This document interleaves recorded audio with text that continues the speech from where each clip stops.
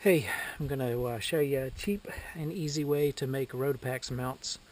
Uh, on the internet they're selling for about $25 a piece. I think you can make them for about $3 a piece.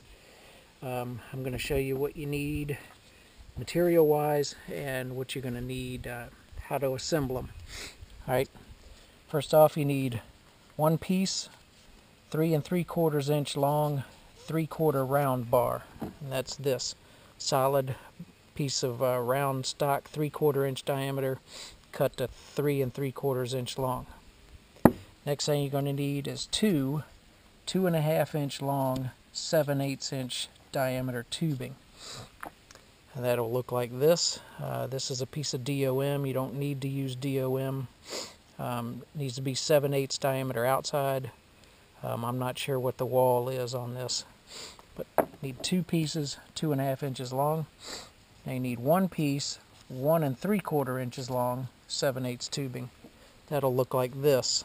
Um, just a little bit shorter, same thing as this, just a little shorter.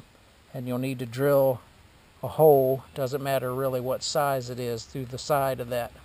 Doesn't need to go all the way through, just on one side. Next, you're going to need one inch and three quarter long 3 eighths bolt.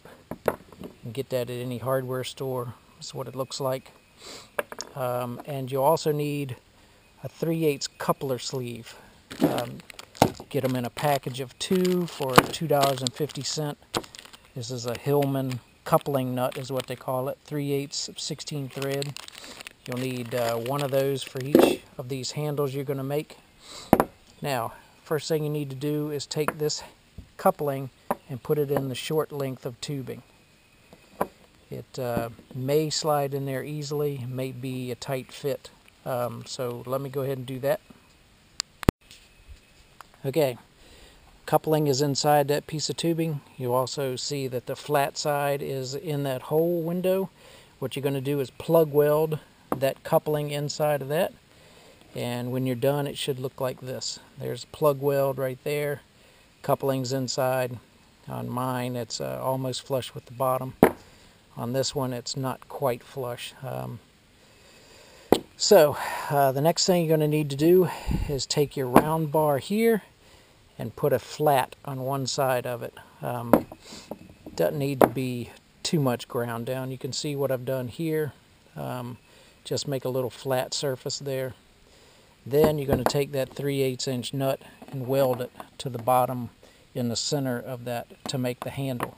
Now this handle would simply screw in to this coupling uh, when it's all assembled. So take this, make a flat spot on it with a grinder, weld the nut right in the center, and that's your handle. So when you're done, I'll show you what it's supposed to look like. Okay, so when you're all done, this is what you're going to end up with.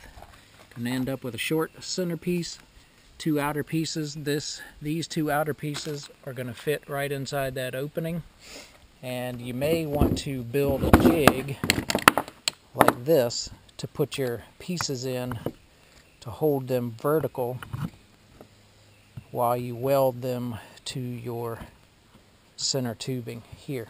Uh, that's in my case, I'm going to mount it to a, a piece of inch and a half tubing. You're, you may want to just weld it to a flat piece of steel, but having a jig like this where you can put all three in there and uh, hold them vertical and evenly spaced while you weld it will probably help. So there you go. Um, again, three quarter inch round bar, some 7 8 inch outside diameter tubing, a 3 8 inch bolt, and and a coupler um, right here. So that's it. Um, these are about a dollar fifty a piece, maybe dollar twenty-five. Um, so you can build this whole thing for about less than three dollars. Hope that helps.